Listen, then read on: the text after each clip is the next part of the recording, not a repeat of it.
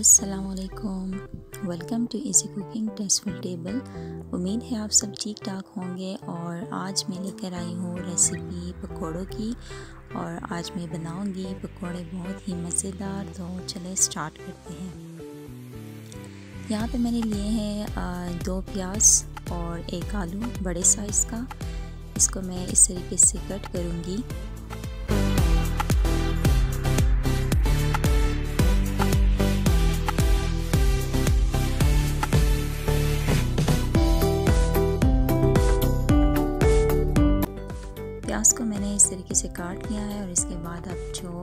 है मैं उसको काटूँगी।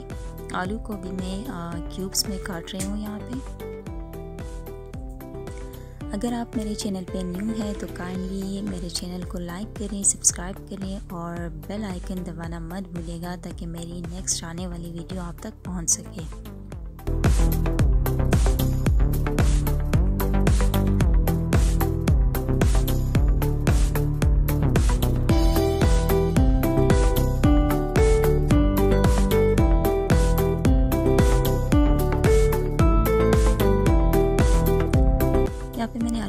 तरीके से क्यूब्स में मैंने काट लिया है।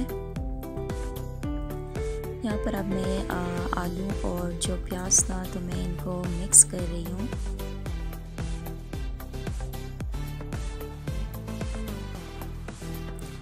इसके बाद मैं इसमें डाल रही हूँ दो कप्स बेसन। मैंने डाला यहाँ पे हाफ़ टी स्पून हल्दी। वन टेबल स्पून ज़ीरा और वन टेबल स्पून धनिया। यहाँ पे मैंने कुटी हुई लाल मिर्च डाली है टेस्ट के मुताबिक, नमक डाला टेस्ट के मुताबिक। ये थोड़ा सा चुटकी बराबर मैंने बेकिंग सोडा डाला और यहाँ पे डाला मैंने फ्रेश धनिया। इसको सही से हाथ की मदद से मिक्स करूँगी मैं।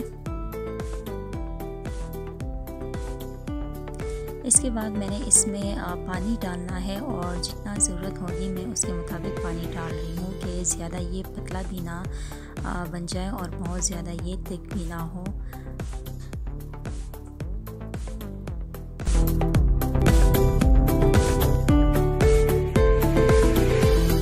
अगर आप इसको हाथ की मदद से सही से मिक्स करेंगे तो ये बहुत ही मज़े की बनेगी और ये अंदर से कच्चे भी नहीं होंगे और क्रिस्पी भी बनेंगे।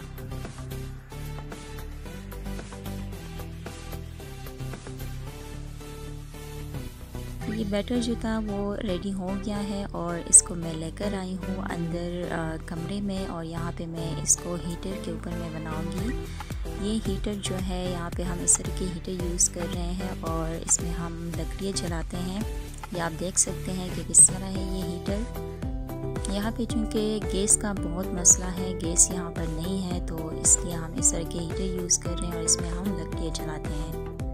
इस हीटर का ये फ़ायदा है कि ये एक तो रूम को गर्म कर देता है और साथ में हम जो भी इसके ऊपर बनाना चाहे तो या पकाना चाहे तो हम बना सकते हैं, या पका सकते हैं इस पर यहाँ पे मैंने ऑयल डाला है ज़रूरत के मुताबिक जितना ज़रूरत थी मैंने ऑयल डाला और ऑयल को मैंने गर्म किया पहले। ये आप देख सकते हैं कि ऑयल जो है वो गर्म हो चुका है और अब इसमें मैं डालूँगी अपने हाथ की मदद से ही मैं इसमें डाल रही हूँ बैटर जो मैंने बनाया था पकौड़ों के लिए। अगर आप इसको गैस पे भी बना रहे हैं तो इसको मीडियम फ्लेम पे बनाना चाहिए क्योंकि अगर फ्लेम जो है वो ज़्यादा तेज़ होगी तो ये अंदर से कच्चे होंगे और बाहर से ये जल्दी से इस पर कलर आ जाएगा और पक जाएँगे। तो इसलिए मीडियम फ्लेम पे ही बनाए ताकि ये अंदर से भी सही पक जाए और साथ में ये पेड़ क्रिस्पी भी होंगे।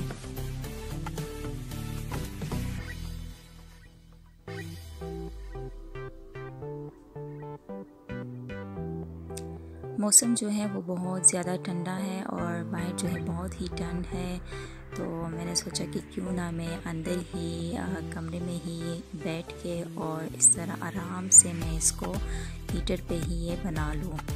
इससे क्या हो जाएगा कि अगर मैं इसको गैस पे बनाती तो ज़ाहिर है गैस का ख़र्चा भी ज़्यादा होता तो इससे अच्छा कि गैस की बचत हो गई है। ये आप देख रहे हैं कि पकोड़े पक बन गए हैं और किस तरह ये अच्छे तरीके से बन गए हैं और क्रिस्पी भी लग रहे हैं, कितना अच्छा इस पर कलर आया है। बहुत ही इजी रेसिपी है और उन चीज़ों से बनी है जो कि ऑलरेडी हमारे पास घर में मौजूद होती हैं। स्पाइसेस भी इतने मैंने सारे कुछ ख़ास नहीं डाले और ये बहुत ही मज़े की होगी। आप ज़रूर इसको ट्राई करें। अंदर से भी ये बहुत सही से पक चुके होंगे और बाहर से भी ये बिल्कुल क्रिस्पी हैं। यहाँ पे मैंने थोड़े और भी डाल दिए हैं और इसको भी मैं अब बना रही हूँ। तकरीबन ये भी पक चुके हैं।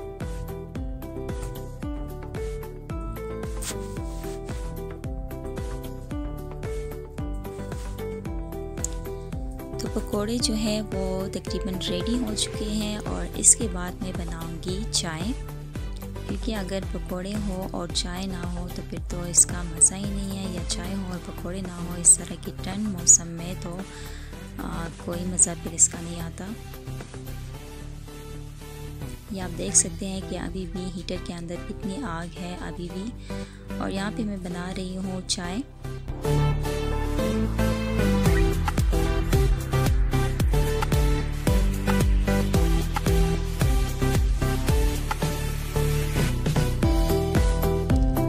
आप मेरे चैनल पे न्यू हैं तो काइंडली मेरे चैनल को लाइक करें सब्सक्राइब करें और बेल आइकन दबाना मत भूलिएगा ताकि मेरी नेक्स्ट आने वाली वीडियो आप तक पहुँच सके।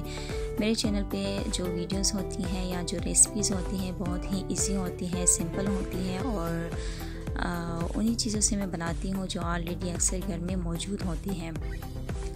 तो चाय भी यहाँ पे बन चुकी है और इसको अब मैं करूँगी सर्व मुझे नीचे कमेंट में ज़रूर बताइएगा कि आपको वीडियो कैसी लगी या आपको मेरी रेसिपी कैसी लगी और इसको ज़रूर ट्राई करें। बहुत ही मज़े की बनी है ये और बहुत ही ये अच्छे से बनी है, बहुत ही ये क्रिस्पी है।